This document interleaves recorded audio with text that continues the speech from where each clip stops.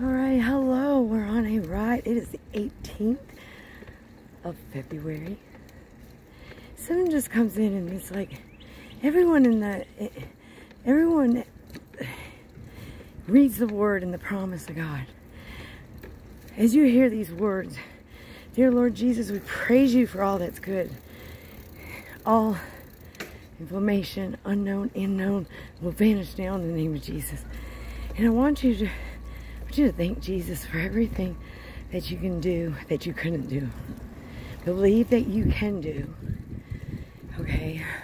By the faith that you have in Him, where there's like no explanation why all of a sudden. I want you to remember to do something that you normally can't do. In Jesus' name. Okay? Even to the point where you may drop something. And when you drop something, you bend over and pick it up without even realizing you did it with ease. This is when the faith grows inside you so big that it's almost like you don't even need the faith anymore. Once you train your, once you go into that training, uh, the Lord's word, the Lord's training, it, there's a farm around here. Oh yeah, okay, pigs and cows. I can smell it. Anyway, maybe I'll turn it around so you can see it. So I'm on the nature trail and that goes all the way through Citrus County. It goes all the way through Florida. They actually, when they're running the torch or a marathon, they'll come across in this area. So it even goes up and down the highway all the way to Tampa. So anyway, so in Jesus' name, we praise you for all that's good. We praise you that each day we live more and more. That each day we we find the courage to live more and more for the ones that have passed on. And um, have forgiveness. It's not easy. Don't worry about how. It's not easy. Don't worry about how. Just forgive. Move on.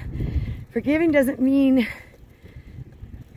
putting up with it or putting up with something. Um, it says surround yourself with the good. Okay, but that does not mean that we're out. We are out looking for the dark clouds okay, to bring and shine, shine light. So it's not really about us. That's what we're talking about today. And if you follow me on Life Changing Grace, you know, you know, the good word that we had in the Bible this morning. Just do it. Just do it. Don't ask why. Just do it. Sometimes we're asked to do something just so that we can, so that he knows whether we're willing or not. Sometimes he just wants to know whether we're willing to take that step. But there's things that have to be done in the middle before you get there. So anyway, God bless you guys so much, and I hope you're enjoying this beautiful day. I love it when it's cloudy like this. And God bless. I'm super excited to meet you guys. Look, they follow me about my dentures. They cracked. Anyway, I can't feel it or anything like that, but you can definitely see it. so God bless you guys so much. I have an appointment on March 10th for that. so God bless you.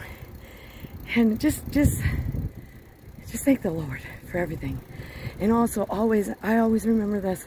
And if I don't, I always get reminded. My spirit does it. Put prayers over the next. The next one's coming behind us. Because if we thought we had it bad when we were their age, they have it triple bad now in these days. So anyway, God bless you guys so much. Bye-bye for now.